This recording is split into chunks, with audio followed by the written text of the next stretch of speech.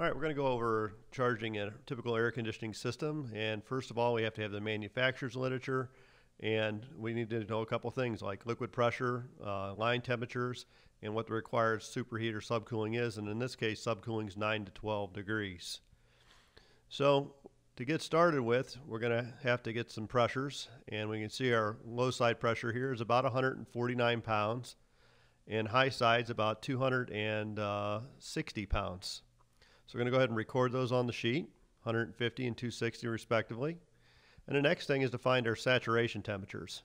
And you can see here we'll have to interpolate what the reading really is because 150 is not on there. So we're somewhere between 50 and 55 degrees.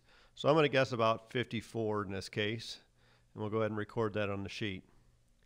Next, we're going to look at the high side pressure, which is at 260 pounds. And again, we have to go to our temperature pressure chart. So go down here and take a look. And again, we're left to interpolate the readings between 254 and 274, somewhere between 85 and 90 degrees. And in this case, again, I'm going to guess about 87 degrees and get that recorded. Now we have to go ahead and uh, we've recorded our saturation temps. We need to get our line temperatures.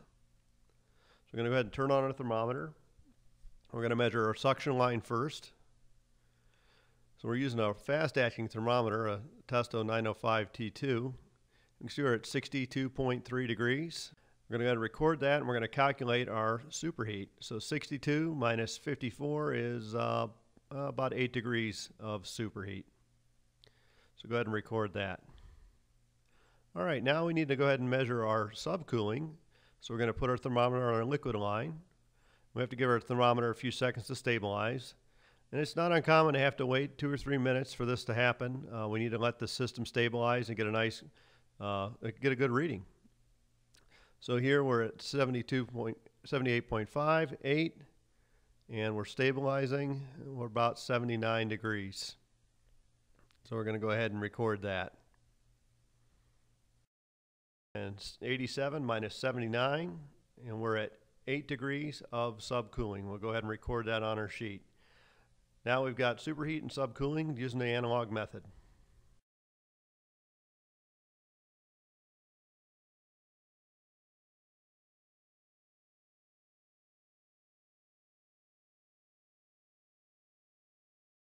Now we're going to make our same measurement using the Testo 550. So again, we're at 9 to 12 degrees of subcooling. We're going to go ahead and uh, install our temperature probes. We're going to clamp one on the suction line we're going to clamp our second on the liquid line respectively.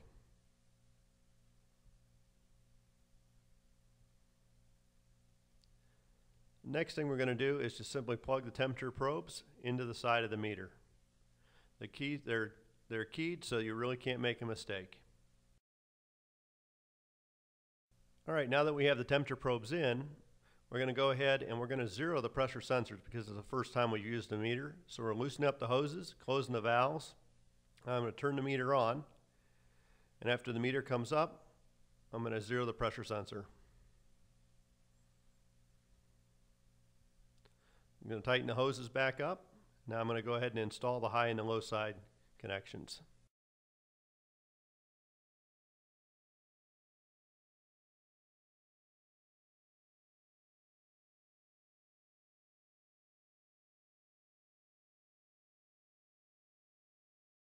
I'm going to turn on the backlight so it's a little easier to see. I'm going to hit the up arrow a couple of times.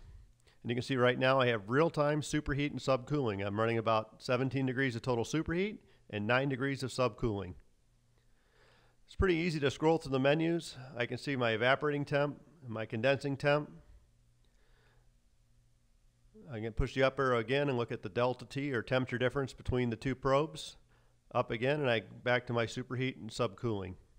So you can see the Testo 550 makes the job a lot easier. The technician doesn't have to do the calculations and the instru instrument does all of the readings in real time.